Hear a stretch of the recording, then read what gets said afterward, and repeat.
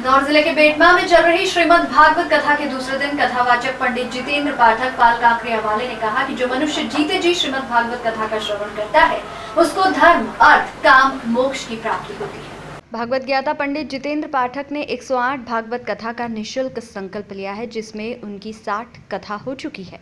कथा के दौरान उन्होंने अपनी बात को आगे बढ़ाते हुए कहा कि मनुष्य मृतक आत्मा एवं अपने पूर्वजों के निमित्त पितृ दोष के निवारण के लिए कथा का आयोजन करता है तो समस्त पितरों को मोक्ष मिलता है।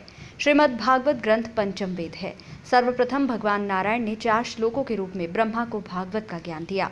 ब्रह्मा ने देव ऋषि नारद को चार श्लोकों में भागवत का ज्ञान दिया और नारद ने वेदव्यासी को।